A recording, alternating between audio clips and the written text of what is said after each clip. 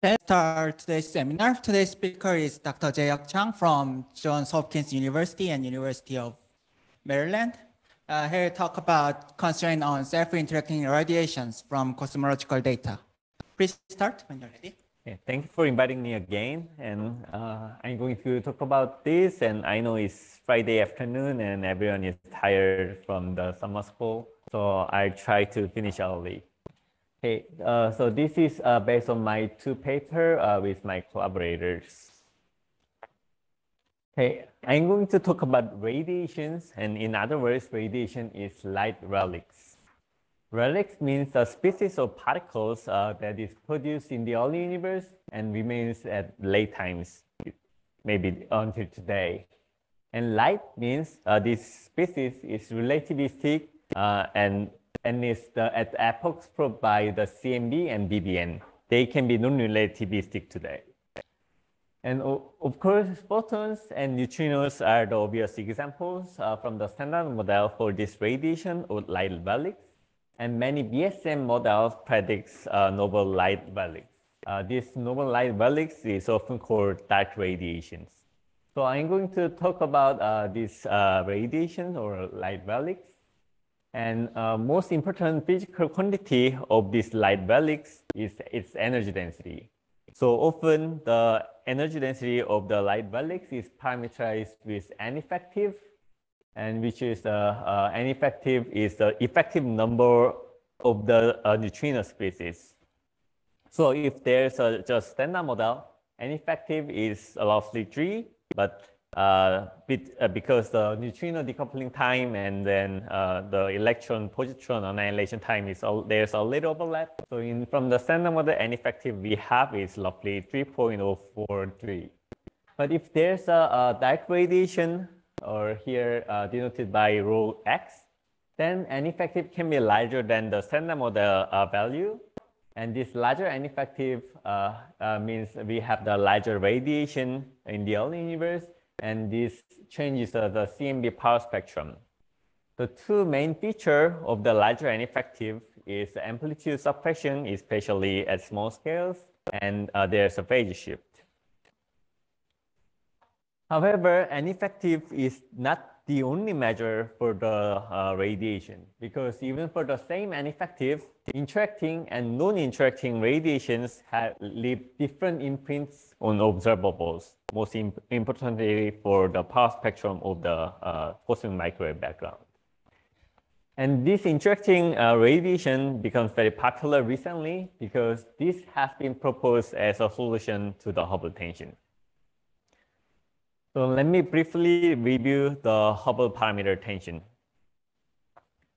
We all know we live in an expanding universe. And a natural question uh, to this expanding universe is what is the speed of the expansion? And to define this, uh, uh, we can uh, write the metric for expanding and homogeneous and isotropic universe, uh, which is described by FLRW metric as we all know. And here this gamma is a, a three space metric. And this A is a scale factor that describes the size of the universe. And we can define the Hubble parameter uh, uh, by time derivative of A over A. And this Hubble parameter describes the speed of the expansion. And we can measure uh, the Hubble parameter today by using Hubble's law, uh, which is Z equals to H0 times D. Here, D is the, the redshift of a, uh, a source. And uh, H0 is Hubble parameter today, and D is the proper distance to the source. And if we uh, measure the redshift and the proper distance, uh, we can know the, the Hubble parameter today. Of course, this simple form is only uh, applies for the very late universe where Z is much smaller than 1. But we can simply extend this to uh, general uh, Z. But anyway, to measure the Hubble uh, today, we do need to know the distance to the source. And there are two different ways to measure the cosmological distance. One way is from the luminosity distance, and the other is from the angular distance. When we use the luminosity distance, uh, we need to have the, uh, the photon source that uh, the luminosity is known. So this is called a standard candle. So if we know a standard candle and if we measure a, a photon flux from this standard candle, and the flux is given by the known luminosity divided by 4 pi dl squared. Here, this dl is the luminosity distance, uh, which is given by a proper distance d uh, divided by a. One a comes from the distance and the other a from the, uh, the redshift of the photon itself. So we need to have two a's. And if we define luminosity distance in this way, uh, we can get the uh, user uh, the flux equation. So this is one way to measure the uh, distance. And the other way is if we have a source which is uh, the its length is known, then we can use the angular distance. Then uh, the sine of the angle uh, is given by the known length divided by the angular distance. And here angular distance is just uh, a times the proper distance because we have only one a uh, from the length. So this is this known length is called the standard ruler. So by using two different uh, distance, uh, we have measured the Hubble parameter today. And uh, this plot is a measurement, and here these two uh, data points are from the early measurement, uh, which is from uh, CMB Planck, and the other BAO and BBN stuff. And these stuff are from the late universe, and um, all this late universe measurement uses the luminosity distance, while the early time uh, measurement uses the, uh, the angular distance. And depending on the data set, you can see the late early time universe and late time universe measurement has 4 to 6 sigma tension. This is uh, famous the Hubble tension, Hubble parameter tension. And this may come from just uh, uh, systematics uh, from the mostly from the late universe, but this tension may be a hint for new physics. Okay, so where where can this new physics come in? Uh, our our calculations for the uh, this early universe and late uh, universe measure, we use a standard candle and standard ruler, and when we calculate uh, the standard, the luminosity of standard candle and luminosity of the, uh, no, the length of the standard ruler, we use our known physics. But if there's a new physics comes in, then this uh, luminosity of the standard candle or uh, the length of the standard ruler might be different from what you expect. And the Hubble today is inversely proportional to the uh, luminosity or inversely proportional to the length of the standard uh, ruler. So if our knowledge to the uh, candle or ruler is wrong, then we predict different Hubble uh, today. So for all the early time measurement, we use the BAO scale as the standard ruler. And BAO stands for the baryon acoustic oscillation, which is the, the density, uh, density perturbation propagation uh, from, with the photon baryon plasma. So in this plot, uh, these white dots are the overdense region at, at, the beginning of the universe, just from the primordial uh, uh, power spectrum.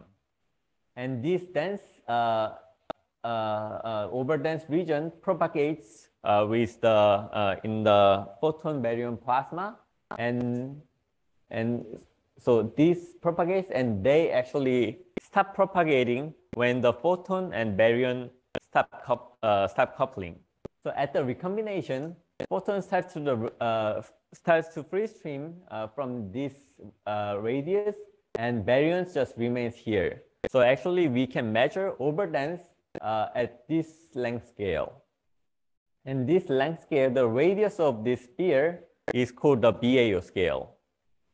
And uh, to calculate this scale, we can just simply uh, integrate the sound speed over the proper time then we can get the uh, BAO scale, but in, by change of the variables with, in terms of A, then we can uh, integrate C as the sound speed of the photon baryon plasma over A square H. H is a Hubble uh, at that time uh, from zero, the beginning of the universe, to the recombination. Then uh, this is our calculation for the BAO scale, and we use uh, this length as a standard ruler to get the Hubble parameter today from the CMB. And this, uh, this Hubble parameter is not the Hubble parameter today. This is early time Hubble parameter. So this Hubble parameter we can just get from the Friedmann equation where h scale is proportional to the energy density. In the early universe, when the radiation is dominated, uh, this ra uh, radiation is parameterized with N effective. And of course, uh, to get the BAO scale, we assume N effective equals the standard model value. But if what if this N effective is different from our uh, expectation? We, what if this N effective is larger than 3? Then uh, we have the more radiation in the early universe, then which means uh, the Hubble in early universe is larger, and that decreases the uh, RS, the BAO scale. Then Hubble today is inversely proportional to this RS, so if we have the additional radiation that increases rho, increases H, decreases RS, and eventually that increases the Hubble today. So if we have the additional radiation, that can serve the, uh, that, uh, that may have to resolve the Hubble tension. So additional radiation decreases RS, then has to solve the Hubble tension, but this is not the only effect from the additional radiation. If we have additional radiation, then that suppresses small, smaller scales and which conflicts with observation uh, today. However, there's a, a, solution to this case. If uh, the radiation we have is actually interacting radiation, then this uh, interacting radiation has much smaller sound speed compared to the free streaming uh, radiation. Free streaming radiation, they just, uh, the, the perturbation, perturbations just propagates to uh, in, in, in the velocity of speed of, of speed of the light. But in the interaction radiation, sound speed is square root over one of three, one over three. So the uh, sound speed is actually smaller. Then it elevates the uh, it, it the interaction radiation doesn't suppress the small scale uh, as much as free streaming radiation. So if we have an interaction radiation, we can compensate these effects a little bit. So this can be the solution to the Hubble tension. So this, uh, this was uh, proposed in this paper and I call the Kreisch paper. And this paper actually finds larger Hubble uh, today with self-interaction neutrinos by increasing N effective by a roughly order one. So I'm going to talk about uh, this paper uh, and review if uh, this paper is actually true. Sorry? BAO scale is measured in terms of the, uh, on the assumption of the lambda CDM. But if our universe is different from lambda CDM, then BAO is different. What we have measured is actual angle. Sorry? Okay, sorry, can you repeat? H0, not not H0. The, our assumption, the main assumption is uh, the the energy density in the early universe is just standard model from the standard model. That's the main assumption. So N effective equals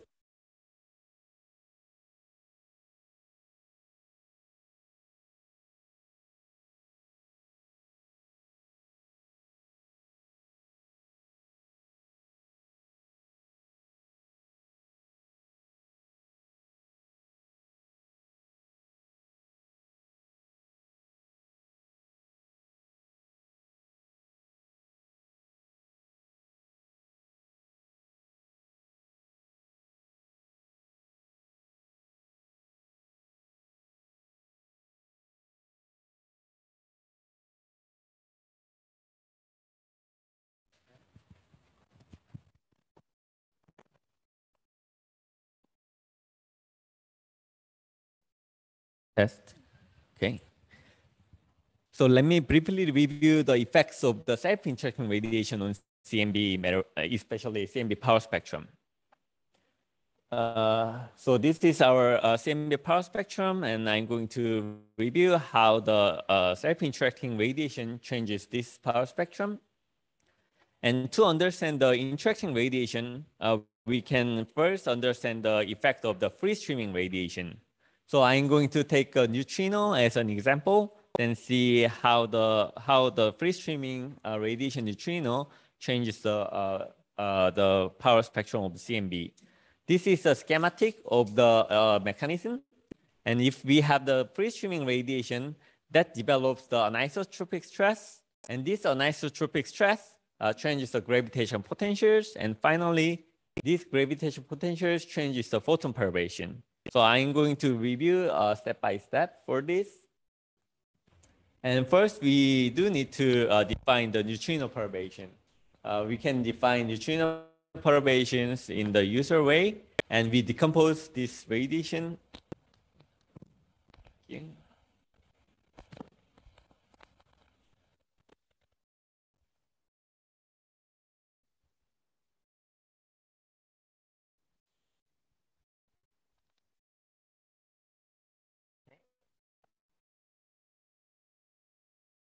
We decompose this uh, neutrino perturbation uh, with the Legendre polynomial. This is a usual way. So this F nu L is Legendre decomposed the neutrino perturbation. You can just know that. And the anisotropic stress is defined in this way, but you don't need to know this part, but you can just think uh, the anisotropic stress uh, is proportional to the second moment of the neutrino perturbation.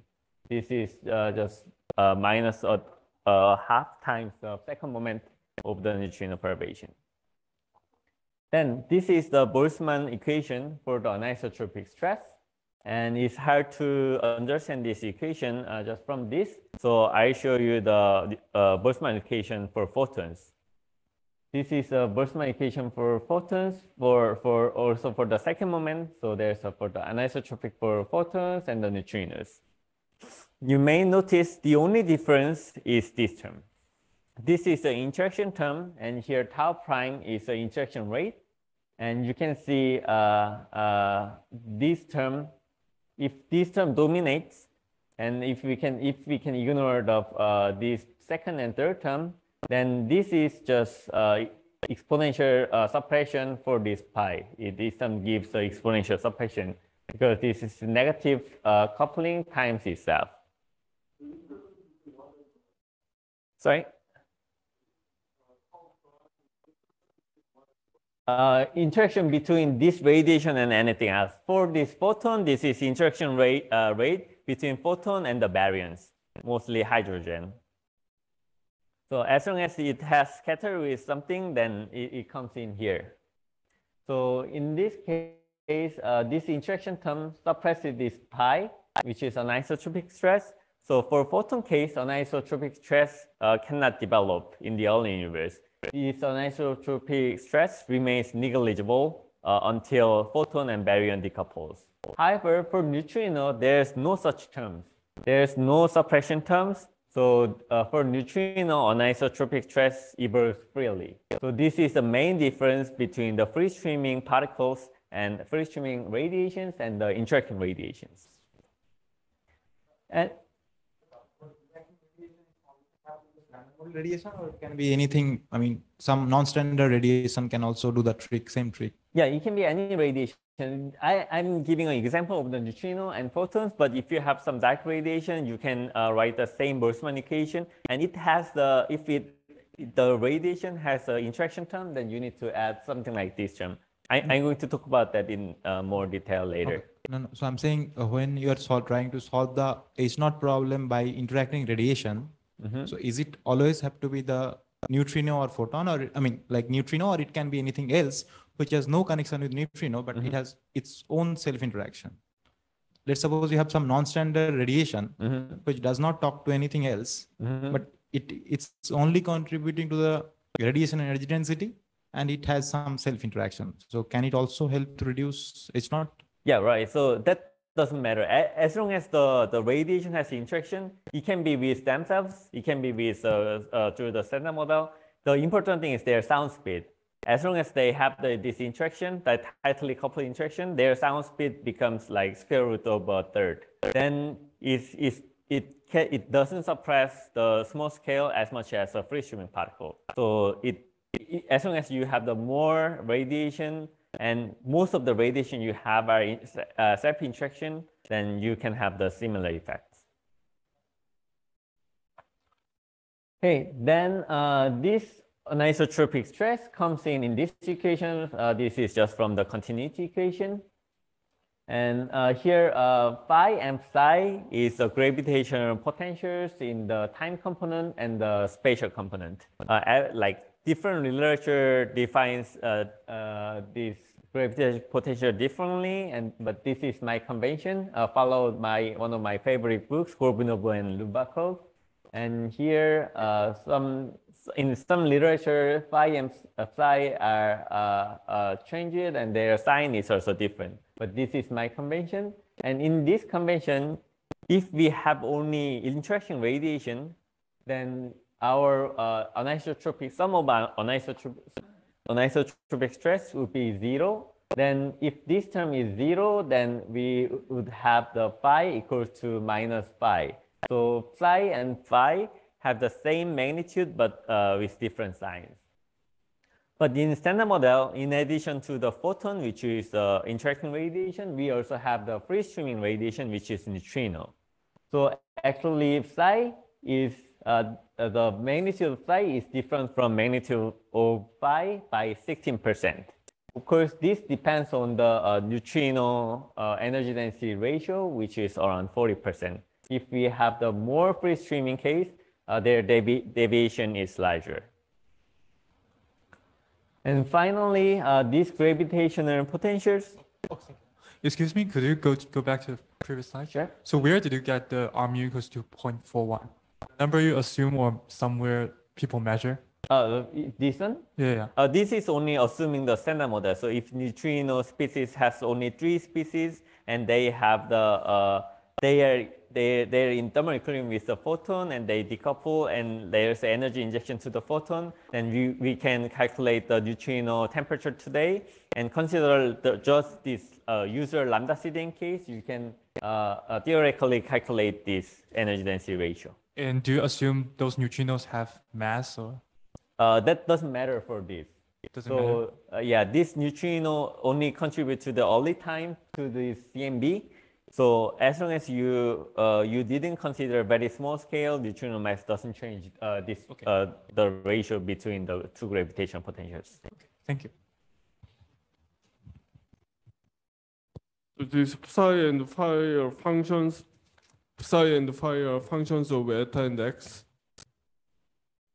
Uh, eta and x. Uh, yeah, in principle, yes, but we normally uh, use the Fourier transform of the uh, phi. So normally what we care is psi in terms of k. That, that's normally what uh, people Uh, consider. so but, but in principle, yeah, this, this is function of eta and x. So my question is uh, when pi equal equal to 0 Mhm, uh, you say psi equal to minus phi, mhm. but you can add any harmonic functions, which is a solution of the Laplacian equal to zero, Mhm. right? So the simple reason that you don't add, you don't allow any additional harmonic function. Uh, so you can think about the growing mode and the decreasing mode. And normally uh, you don't consider the decreasing mode, you only consider the growing mode. And if I remember correctly, if you take that uh, solution, then uh, this is always guaranteed. Okay. So the final step, uh, these gravitational uh, potentials have an impact on the photon uh, perturbations and changes the uh, CMB power spectrum. But it's a little, this, this is, this is a, a Boltzmann hierarchy for the photon propagation, but it's a little hard to see the effect from this equation. But the main effect of the, uh, uh, this free streaming radiation is phase shift and the amplitude suppression. And you may saw this before. So this is exactly same as the, uh, the effect of the additional radiation. So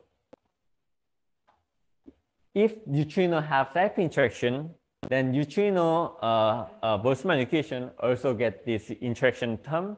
And these interaction terms suppress the neutrino anisotropic in the early universe.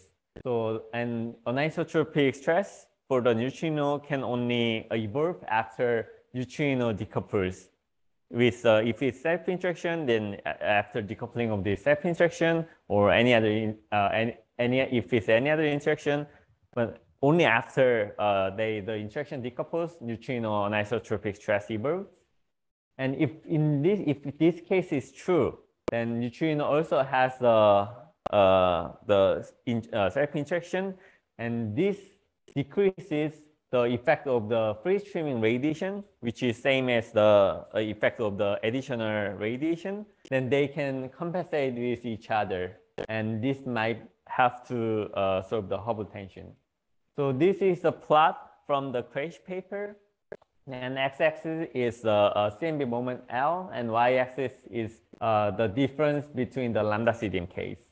So here, this uh, uh, black line is the lambda CDM, and this dashed line is a lambda CDM, but n effective equals to 4. And you can see uh, the amplitude suppression, especially for small scales, and there's a phase shift by uh, uh, this oscillating feature.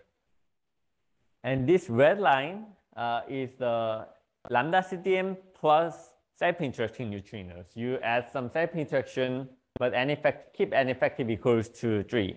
Then you can see uh, this case, they lose the effects of the self-interact free streaming uh, radiation.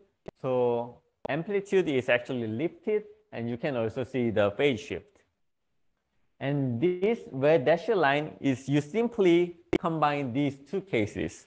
So you just add, uh, you increase the N effective to the four, and you also add the uh, interaction to the neutrinos.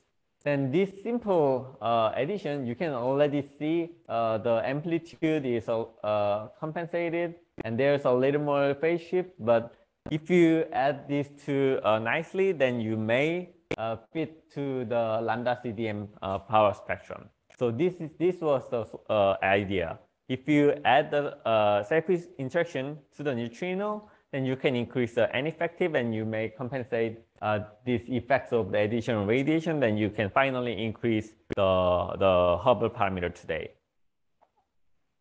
Okay. Uh, I'm going to talk about that in more detail later, but like in this case, uh, they add the massive majoron. So the, the neutrinos are simply interacting by exchanging these majorons. But there's a, these majorons are massive, so they, they are not produced. It only gives a self interaction to the neutrinos. Uh, G effective is this is the parameter for the neutrino self interaction. I haven't talked about this, uh, but I'm going to talk about this later in more detail.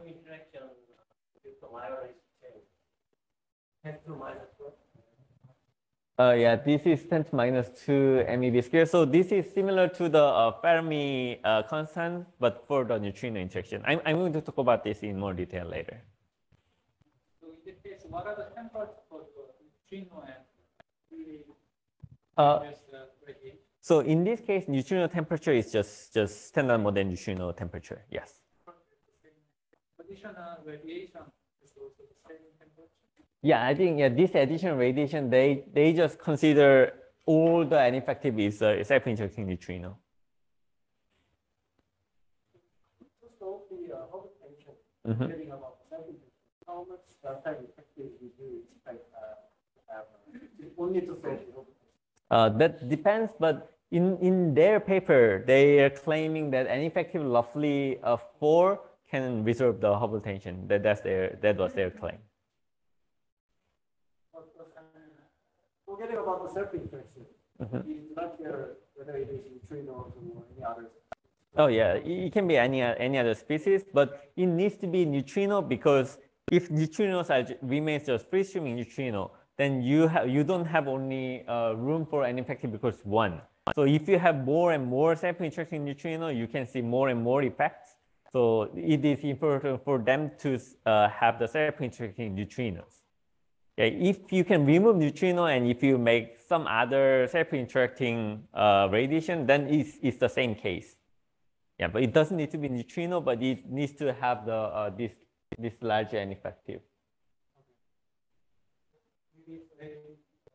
Silly question, but how can the self interaction can increase the energy density?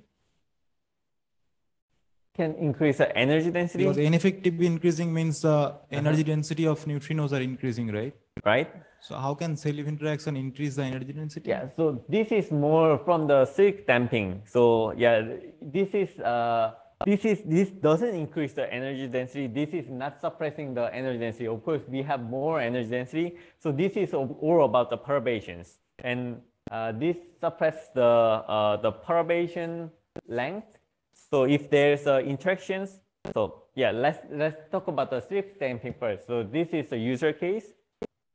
So if you have the uh, more radiation, then this radiation uh, gives more energy density, and uh, and this this damping is from the the mean free path of the photon.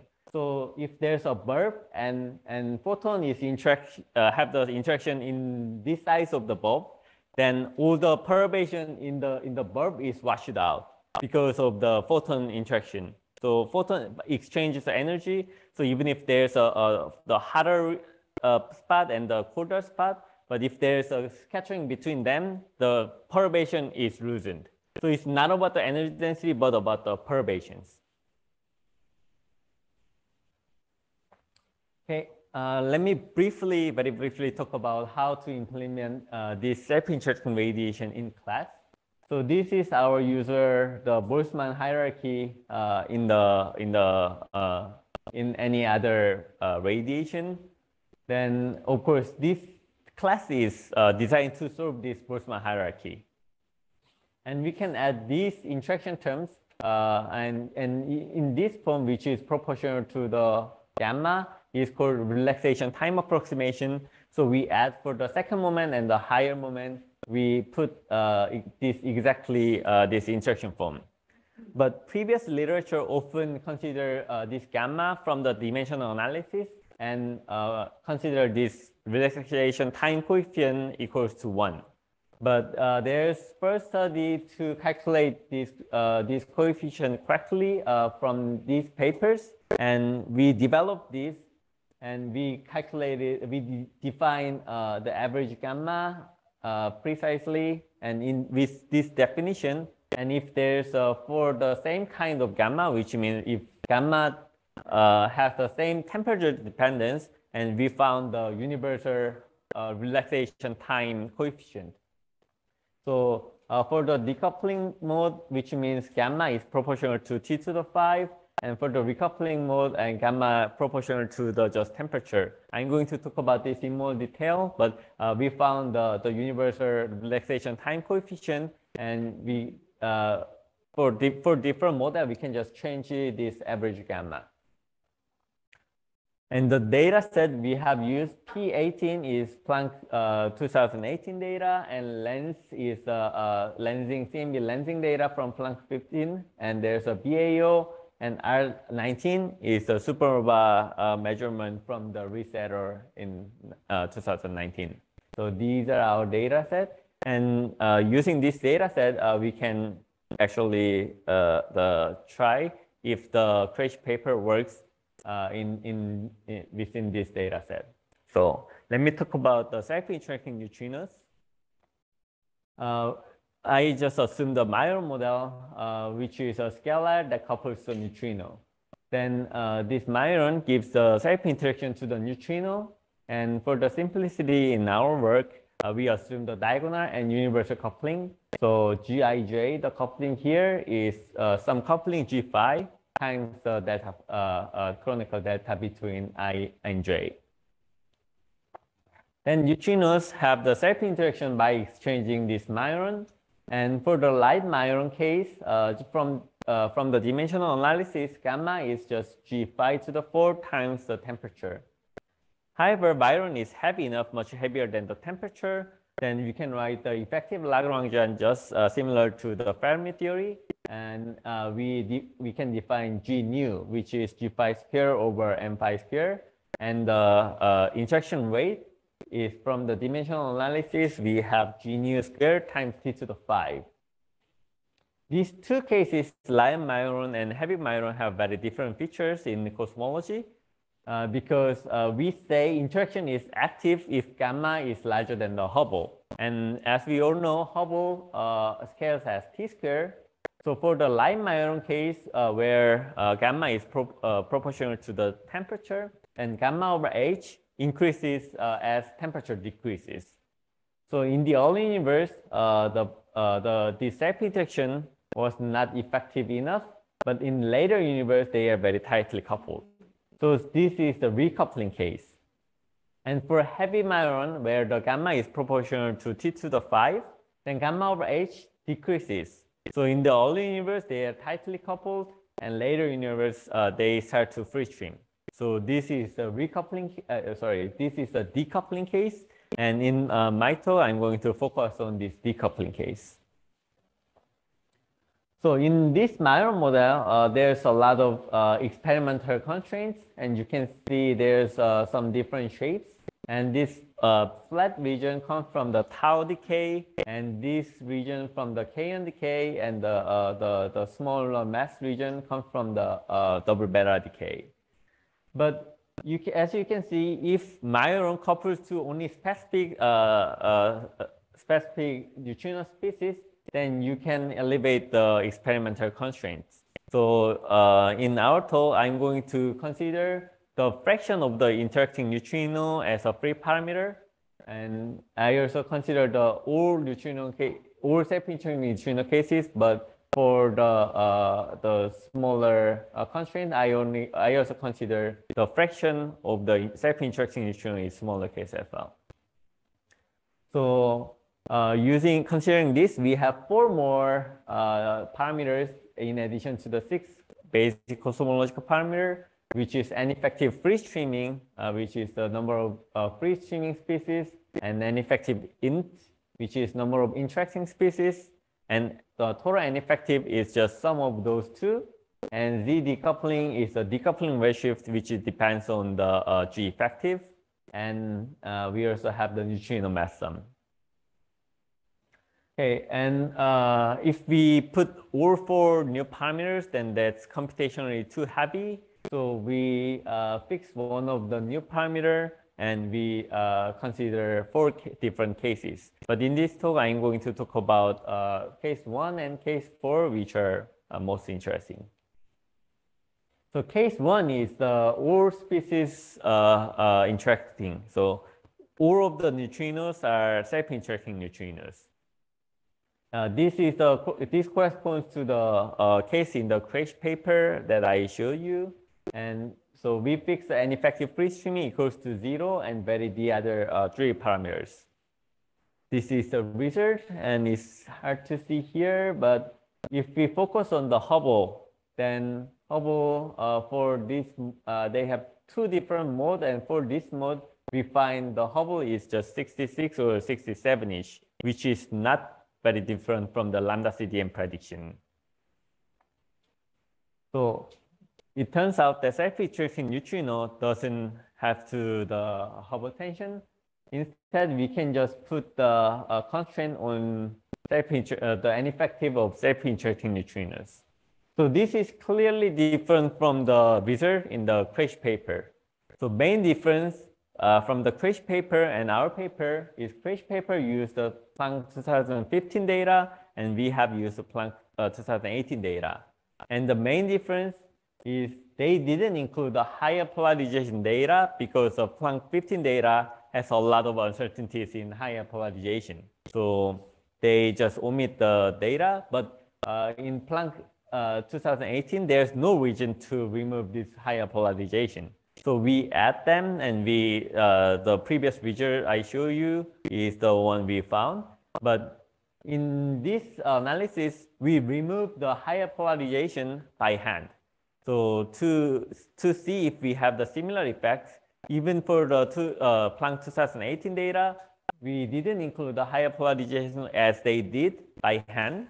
And what we found is uh, with our uh, R19 data, we find uh, Hubble constant today is around more than like 71 and even 74 or something. So, so this is only possible if you remove this higher polarization data. This is because higher polarization data has very sharp peaks and these peaks constrain N effective very tightly. So if you add this higher polarization data, even with the self-interacting neutrinos, you cannot increase N effective much. And, and as a result, you don't find uh, larger Hubble, uh, Hubble parameter today. So it is very important to include the higher polarization. And with this, neutrino, self-interacting neutrino cannot be a solution to the Hubble tension. But, uh, but self-interacting, yep. I'm sorry, do you remind me what is the definition of I, I, IL polarization? Uh, so uh, I don't have that data here. Uh, and so you, you know CMB have the, the temperature temperature autocorrelation, but there's also polarization, E polarization and something like that. And and there's x-axis is normally L, right? So but in Planck 15 data, I, I forget the exact number, but L larger than something, it has very uh, large uncertainties. So they didn't include that data. So, so but, but Planck, Planck 18, they have the uh, like better uncertainties, like smaller uncertainties. So we, we have added them. So, uh, so still, uh, separate neutrino are interesting. So we can uh, turn to the different case. In this case, we fix uh, uh, some of the neutrino masses and we vary both self-interact uh, neutrino uh, self-interacting species and the free streaming case and the uh, Z decoupling. So in this case, uh, we can put some constraints on N effective. And this is a research, and you can see uh, we can put some constraints on N effective interaction. And this is a summary table, but like uh, the research is we find an upper bound on N effective interaction, which is which needs to be smaller than 0.86 with 95% confidence level for the decoupling case. And in the case of the fluid-like case, which means they never decouple, so neutrinos remains uh, fluid all, at all time. In this case, uh, we find the upper bound, which is 0.01. Okay, uh, there's a small remark on uh, S8 tension or sigma 8 tension.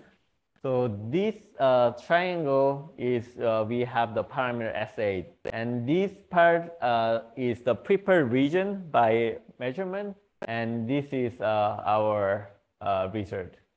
Uh, the, the Planck, ju ju just standard model case is the red, which you have still, there's small tension. But you can see this case one doesn't have to reserve this tension much. It's, we still have the tension but with case four, we have a small overlap. This doesn't have to reserve the uh, S8 tension much, but uh, if we have the fluid-like particle, it helps a little bit, but that's that much. Okay, now we can turn to the self-interacting dark radiation. Uh, I'm going to talk about uh, this case very briefly. And we classify the dark radiation into three different uh, uh, uh kinds.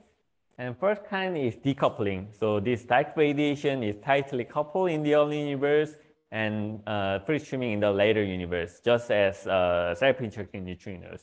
So uh, we use the same Majoron model and the exact injection rate uh, is given by this, which is proportional to T to the 5. And we can think about the instantaneous decoupling just as like photon.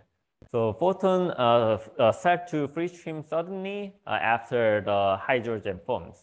So in dark baryon or dark atom model, uh, we, we can have the similar uh, decoupling. Uh, then the injection rate is proportional to exponential of some binding energy or confinement energy over the temperature.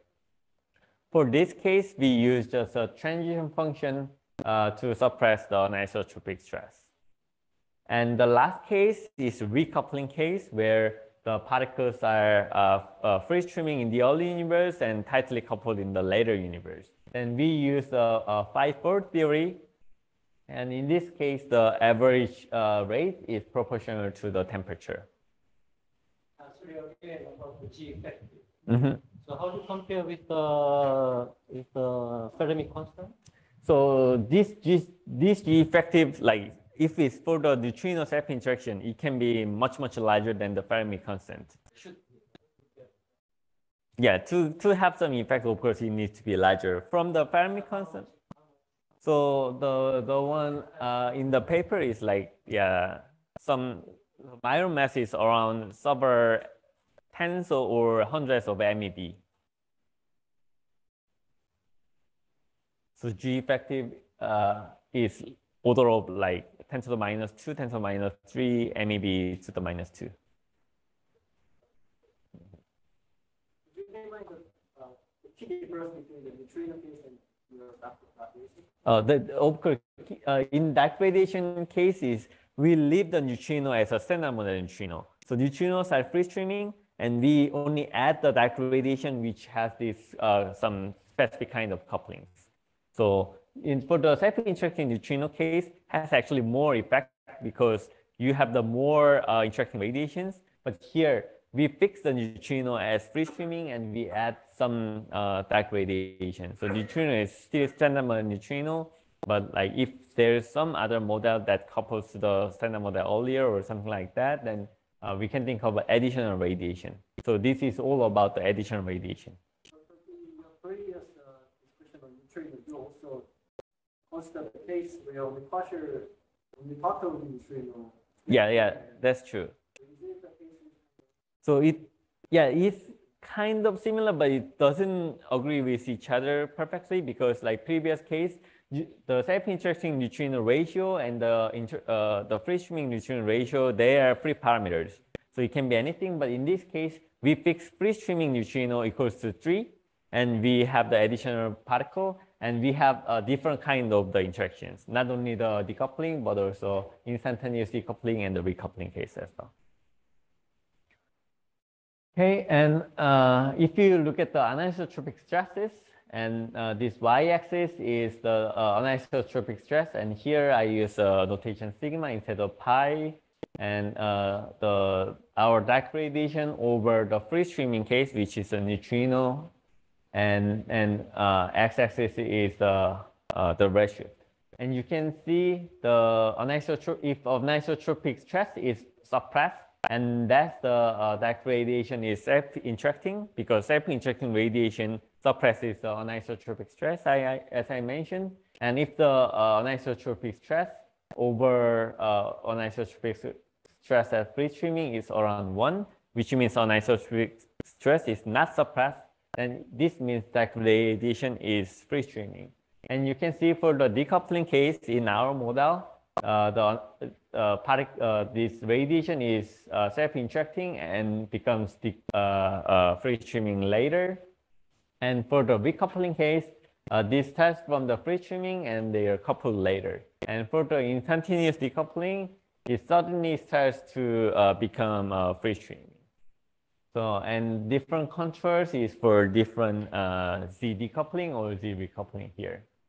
And our brief research, uh, as you can see here, we found actually no statistical, statistically significant constraint on couplings on DR. So these are couplings, and you see that there's a slight preference, but most of them are not ruled out. So they are not ruled out here. So most of the couplings are allowed.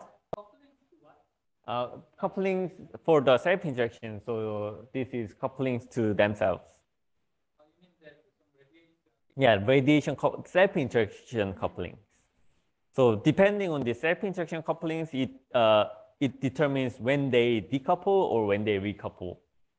So from uh, from this analysis, uh, CMB doesn't have preference of the decoupling time or recoupling time that much. But this is mainly because uh, their N effective can be uh, uh, much smaller. Their N effective is uh, like only allowed like 0.1 or 0.2 ish, and in in in this smaller delta N effective, this coupling or recoupling effect doesn't give much changes on CMB power spectrum. That that's one main reason why we don't have any constraint. But still, we have a slight preference uh, for the fluid, fluid-like case.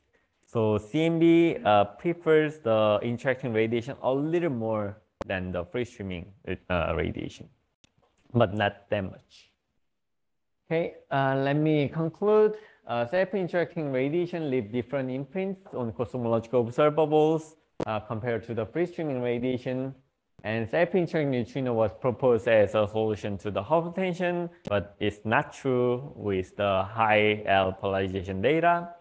So instead, we put on constraints on uh, self-interacting neutrinos and dark radiations, especially on the coupling parameter and the uh, N effective interacting. Thank you very much. For the nice talk. Any question? Oh, thank you very much. So in your talk, you did not mention anything about dark matter. Yeah, so in my talk, our dark radiation doesn't have the interaction to the dark matter. Dark matter remains a cold dark matter, and we only consider the interaction between the radiation.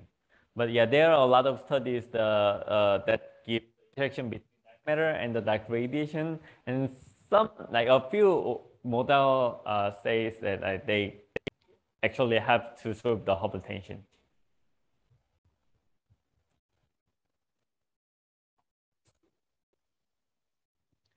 Um, in the case of the self-interacting neutrino, in the Mm-hmm. second case, when you fix the sum of the neutrino masses to be Mm-hmm. 0.1, how sensitive is it if you if you were to decrease the sum of the neutrino masses? So we haven't tried that. So we have some different cases where uh, we fix the free streaming uh, neutrino case, and then uh, we fix we leave the the, the neutrino mass sum equals to free, but like the there we still didn't find very uh, specific preference. We just we just put the constraint on N effective, but N effective constraint the upper bound is a little bit different if you can vary the neutrino mass. I see. So, so how your conclusion on the, I mean, in second conclusion on once you, once we add a high L data to uh, constraints, uh, the Hubble tension, it doesn't work. So, so is it only for the self-interacting neutrino case or have some general occasions on the solution which use the data N effective? So, so we we only tested in this case self-interacting neutrino, but I think this is generally true. So higher polarization have very sharp peaks. So with the higher polarization data, it's hard to uh, change the N effective. But Right. but there there can be a way to make it work. But like generally, it, it, it would be much harder uh, with the higher polarization data to Okay. increase N effective. Okay.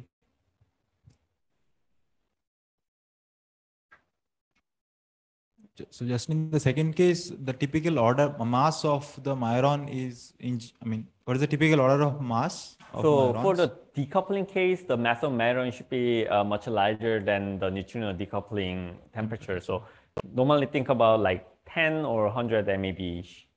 So, so because I'm, I'm just confused because then what's the source of this extra delta N effective you're having at the time of CMB? So I mean, what's the source of this extra delta N effective? so so we didn't consider the production of this radiation, but like you can think about some uh, more particles in the neutrino sector, and they comes in the uh, thermal equilibrium and decouple. Then that changes the N effective of the neutrino sector actually. So you can think about this scenario, or you can think about some other scenario that uh, makes uh, uh, that, that that changes the N effective of the neutrino sector. Oh, okay. But, so- but we, we haven't considered, uh, in this case, we just leave in the free parameter in the analysis. okay. Yeah, but, but there are uh, papers that talks about how to change the N effective in the neutrino sector. And this, so if it, the additional neutrinos be very energetic? So normally in this case, they, they need to be thermal. They are thermal neutrinos, so their energy is like order of their temperature. So this majoron was never in thermal equilibrium. Sorry? This majoron was never in thermal equilibrium or? Yeah, in, in the decoupling case, majoron never in the thermal equilibrium. But actually, in the recoupling case, majoron needs to be very light because you need to have light majorons to have the uh, this recoupling feature. So in the study of the light majorons, actually you consider the production of majorons and uh, uh, have the thermal equilibrium and even the freeze out of the majorons. They they con- they do consider those, and actually the light majoron case uh, fits better to the CMB and the R19 data. Thank you. So what was the couple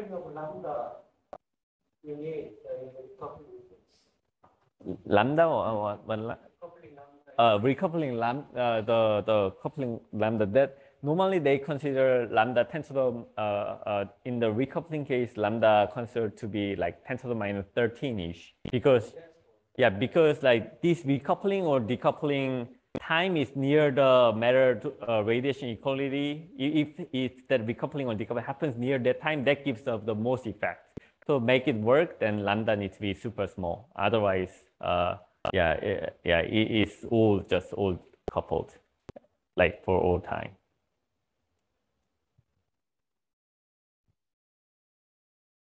Any other question?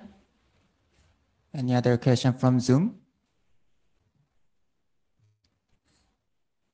Okay, if not, let's thank the speaker again. Thank you very much. Thank you.